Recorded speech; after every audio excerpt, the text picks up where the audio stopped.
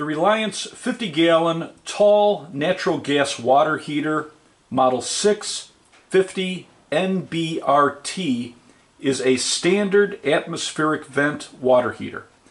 It uses a vertical metal duct or a vertical duct connected to a chimney to vent up and out of the house.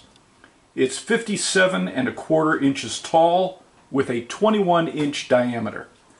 The vent pipe can be 3 inches or 4 inches. It has a glass lined self cleaning tank with a 6 year warranty. The foam insulation is environmentally friendly.